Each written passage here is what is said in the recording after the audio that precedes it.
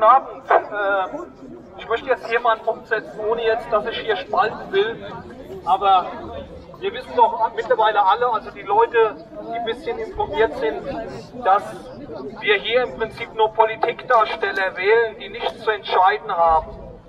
Das hat ja auch mal der Host Seehofer gesagt. Ne? Es geht hier nicht um Spaltung, aber ihr solltet euch darüber bewusst sein, dass jeder Politiker, der für eine politische Partei kandidiert, Prinzip nur ein Politikdarsteller ist. Er ist ein Schauspieler. Er hat seine Rolle vorgegeben. Er wird nie für das Volk sein. Weil wenn ihr wählen geht, dann entlastet ihr die Geschäftsführung. Nichts anderes ist das.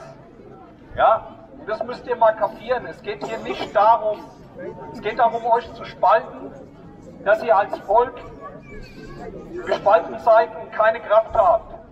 Nämlich wenn ein Volk zusammenhält, wenn genug, wenn die kritische Masse gegen gewisse Maßnahmen sind, dann werden die auch nicht mehr durchgeführt. So einfach ist es.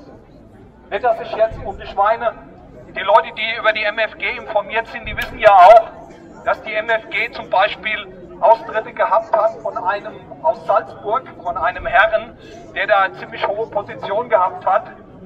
Und aus dem Grund, weil die MFG genauso Steuergelder verschwendet hat, für die zwei Abgeordneten im österreichischen Landtag, wie die anderen Parteien auch. Also seid euch darüber im Klaren, wenn ihr wählen, wenn ihr wählen würdet und es würde ein Ergebnis kommen, was nicht zufriedenstellend für die Leute sind, die im Hintergrund die Fäden ziehen, dann wird die Wahl einfach gefälscht, so wie sie in den USA gewesen ist. Weil die Wahlfälschung in den USA ist klar bewiesen, aber wie gesagt, ich bin auch kein Trump-Freund. Weil jeder Politikdarsteller wird nicht für euch arbeiten. Wir dürfen diese Sachen durch Steuern finanzieren, dieses System. Aber im Endeffekt könnt ihr wählen, was ihr wollt, es bringt alles nichts. Ich möchte hier nicht zum Nichtwählen aufrufen, aber ich wollte es mal nochmal klarstellen. Dankeschön.